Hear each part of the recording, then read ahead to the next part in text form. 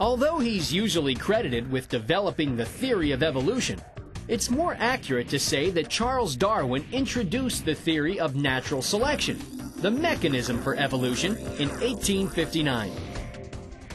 More than 20 years before, Darwin had set sail aboard the HMS Beagle to study the flora and fauna of South America, despite the fact that he was perpetually seasick. Oh my.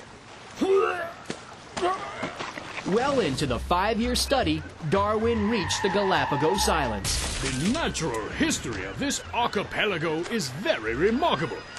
It seems to be a little world within itself. The greater number of its inhabitants, both vegetable and animal, being found nowhere else. Among the animals Darwin found were lots of birds, finches to be precise.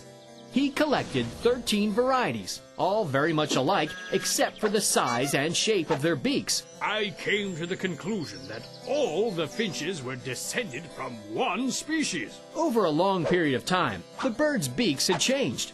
Each was adapted to the kind of food available in their local area. Seed eaters' beaks were different from insect eaters' beaks, and so on. From this and other observations, Darwin developed the theory of natural selection. Certain conditions must be met for natural selection to occur. There must be a population of things that can make copies of themselves. The copying process must be imperfect. And the copying errors must lead to differences in the ability of the offspring to survive and make copies of themselves. These copying errors may result in the offspring being better suited to their environment. Or perhaps not. But if the changed offspring are better able to survive, then that change will likely endure and spread throughout the population over generations.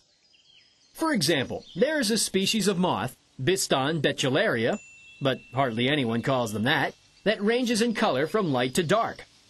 A population of them lived in a birch forest. Light-colored moths blended with the tree bark, but darker ones stood out against the white birch bark. Birds ate more dark moths because they were easier to spot, leaving mostly light-colored moths to reproduce. Then came the Industrial Revolution, and with it, air pollution. The white birch bark turned sooty gray. Now the pale moths were more visible to birds, and the darker ones were camouflaged. Oh no! Birds began eating more pale-colored moths. In less than 100 years, the population of moths shifted from mostly pale to mostly dark. In this example, it pays to be different. When natural selection favors a single trait, such as color, it's called directional selection. Remember the Galapagos finches? During droughts, birds with strong, large, or very long bills were better equipped to survive. Those with average, medium bills were out of luck. This is an example of disruptive selection. It pays to be a survivor with the right equipment.